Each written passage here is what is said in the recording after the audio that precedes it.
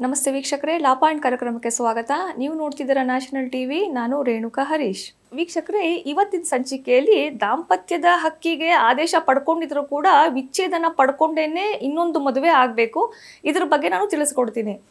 ವೀಕ್ಷಕರೇ, ನಾವು ನೋಡ್ತಾ ಇರ್ತೀವಿ ವೈಫ್ ಫೈಲ್ ಮಾಡಿರ್ತಾರೆ ಕಾಂಜುಗಲ್ ರೈಟ್ಸ್ ಅಂದರೆ ದಾಂಪತ್ಯದ ಹಕ್ಕು, ನನಗೆ ಗಂಡ ಬೇಕು ಅಂತ, ಅಥವಾ ಹಸ್ಬೆಂಡ್ ಫೈಲ್ ಮಾಡಿರ್ತಾರೆ, ನನಗೆ ಹೆಂಡತಿ ಬೇಕು ಅಂತ ಹೇಳಿ section nine of Hindu marriage act ಕೆಳಗಡೆ ಒಂದು ದಾಂಪತ್ಯದ ಹಕ್ಕು, ಅಂದರೆ ಕಾಂಜುಗಲ್ ರೈಟ್ಸ್ಗೆ ಒಂದು ಕೇಸನ್ನು ಫೈಲ್ ಮಾಡಿರ್ತಾರೆ.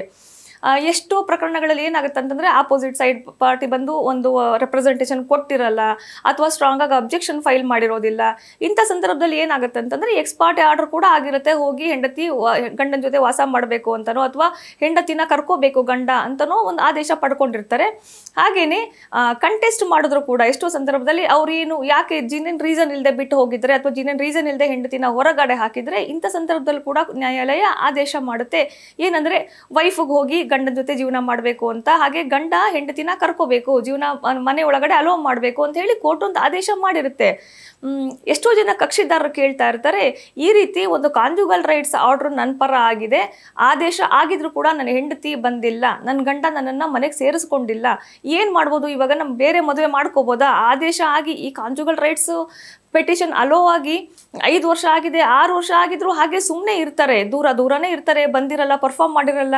ಯಾಕಂದರೆ ಸುಪ್ರೀಂ ಕೋರ್ಟ್ ಕೂಡ ಒಂದು ಡಿಸಿಷನ್ಸ್ ಅಲ್ಲಿ ಹೇಳ್ತಾ ಇರ್ತದೆ, ಯಾವುದೇ ಸಂಬಂಧನ, ಒಂದು ಒಪಿನಿಯನ್ ಏನಿದೆ ಅಂದರೆ ಯಾವುದೇ ಸಂಬಂಧನ ಎಸ್ಪೆಷಲಿ ಗಂಡ, ಹೆಂಡತಿ ಸಂಬಂಧ ಇಂಥದ್ದೆಲ್ಲ ಬಲವಂತವಾಗಿ ಇರಿಸೋಕ್ಕಾಗೋದಿಲ್ಲ ಕೋರ್ಟ್ ಆದೇಶ ಏನಿದ್ರು ಅವ್ರ ಆದೇಶ ಆಗಿರುತ್ತೆ ಹೊರತು ಬಲವಂತವಾಗಿ ಆದೇಶ ಆಗ್ಬಿಟ್ಟಿದೆ ಅಂತ ಹೇಳಿ ಕರ್ಕೊಂಡು ಬಂದು ಹೆಂಡತಿನ ಮನೇಲಿ ಬಿಡೋಕ್ಕಾಗೋದಿಲ್ಲ ಅಥವಾ ಗಂಡನಿಗೆ ಪನಿಷ್ಮೆಂಟ್ ಕೊಡ್ತೀನಿ, ಹೆಂಡತಿನ ಕರ್ಕೊ ನೀನು ಅಂತೆಲ್ಲ ಯಾವುದೇ ಆದೇಶಗಳು ಮಾಡೋದಕ್ಕೆ ಬರೋದಿಲ್ಲ. ಕಾಂಜುಗಲ್ ರೈಟ್ಸ್ ಆದೇಶ ಇದ್ರೂ ಕೂಡ ಹೆಂಡತಿ ನಿರಾಕರಿಸಿದ್ರೆ ಅಥವಾ ಗಂಡ ನಿರಾಕರಿಸಿದ್ರೆ ಒಟ್ಟಿಗೆ ಬಾಳೋದಕ್ಕೆ ಅಂತ ಸಂದರ್ಭದಲ್ಲಿ ಇವರು ಎಷ್ಟೋ ವರ್ಷ ಸಪರೇಟ್ ಆಗೇ ಇರ್ತಾರೆ.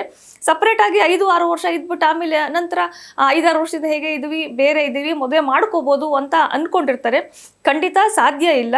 ಇದು ಕೂಡ ಬೈಗಮ್ಯ ಆಗುತ್ತೆ ಅಂದ್ರೆ ದ್ವಿಪತ್ನಿತ್ವ ಅಥವಾ ಎರಡು ಹುಡುಗಿ ಮದುವೆ ಆದರೂ ಅದು ಕೂಡ ಬಹುಪತ್ನಿತ್ವ ಈ ಥರದ್ದೇ ಡೆಫಿನೇಷನ್ ಕೆಳಗಡೆ ಬರುತ್ತೆ. ಕಾಂಜುಗಲ್ ರೈಟ್ಸ್ ಅಲ್ಲಿ ಆರ್ಡರ್ ಆಗಿದೆ, ಬಂದು ಒಬೆ ಮಾಡಿಲ್ಲ ಅಂತ ಬೇಕಾದ್ರೆ ಇದೊಂದು ಡೈವೋರ್ಸ್ಗೆ ಗ್ರೌಂಡ್ ಆಗುತ್ತೆ. ಇದೊಂದು ಗ್ರೌಂಡ್ ಇಟ್ಕೊಂಡು ಈ ತರ ನಾವು ಇದು ಎರಡನೇ ಪೆಟಿಷನ್ ಫೈಲ್ ಮಾಡಲೇಬೇಕಾಗುತ್ತೆ ಕೋರ್ಟಿಂದ ಡಿಕ್ಲೇರ್ನ ಪಡ್ಕೊಳ್ಳೇಬೇಕಾಗುತ್ತೆ ಡೈವೋರ್ಸ್ದು ಕಾಂಜುಗಲ್ ರೈಟ್ಸ್ ಆರ್ಡರ್ ಆಗ್ಬಿಟ್ಟಿದೆ, ಹೆಂಡತಿ ಬಂದಿಲ್ಲ ಅಂತ ಹೋಗಿ ಬೇರೆ ಮದುವೆ ಮಾಡ್ಕೊಳಕ್ ಬರಲ್ಲ, ಅಥವಾ ನನ್ನ ಗಂಡ ನನ್ನ ಮನೆ ಕರ್ಕೊಂಡಿಲ್ಲ ನನ್ನ ಕಾಂಜುಗಲ್ ರೈಟ್ಸ್ ಆರ್ಡರ್ ತಗೊಂಡಿದ್ದೀನಿ ಅಂತ ಹೇಳಿ ಹೆಂಡತಿ ಬೇರೆ ಮದುವೆ ಮಾಡ್ಕೊಳ್ಳೋಕೆ ಬರೋದಿಲ್ಲ. ಅವರು ಲೀಗಲ್ ಆಗಿ ಸೆಕ್ಷನ್ ತರ್ಟೀನ್ ಕೆಳಗಡೆ ಡೈವೋರ್ಸ್ ಪೆಟಿಷನ್ನ ಫೈಲ್ ಮಾಡಿಬಿಟ್ಟು ಕೋರ್ಟಿಂದ ಡೈವೋರ್ಸ್ ಆದೇಶ ಪಡ್ಕೋಬೋದು. ಅಂದ್ರೆ ಇದೇ ಗ್ರೌಂಡ್ ಸಾಕು. ಏನಂದ್ರೆ ಕಾಂಜುಗಲ್ ರೈಟ್ಸ್ ಒಬೆ ಮಾಡಿಲ್ಲ, ಇದೊಂದು ಗ್ರೌಂಡ್ಸೇ ಸಾಕು, ಅವ್ರಿಗೆ ಡೈವೋರ್ಸ್ ಸಿಗುತ್ತೆ. ಆದ್ರಿಂದ ಕಾಂಜುಗಲ್ ರೈಟ್ಸ್ ಕೇಸಲ್ಲಿ ಆದೇಶ ಪಡ್ಕೊಂಡಿದ್ರು ಕೂಡ ಮತ್ತೆ ಇನ್ನೊಂದು ವಿವಾಹ ಆಗ್ಬೇಕಂತಂದ್ರೆ ಲೀಗಲ್ ಆಗಿ ಕೋರ್ಟಿಂದ ವಿಚ್ಛೇದನ ಪಡ್ಕೊಂಡೇನೆ.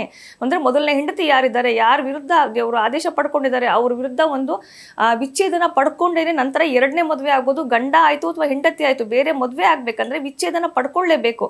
ಕಾಂಜುಗಲ್ ರೈಟ್ಸ್ನ ಪರ್ಫಾರ್ಮ್ ಮಾಡಿಲ್ಲ ಅನ್ನೋದೊಂದು ರೀಸನ್ ಆಗೋದಿಲ್ಲ.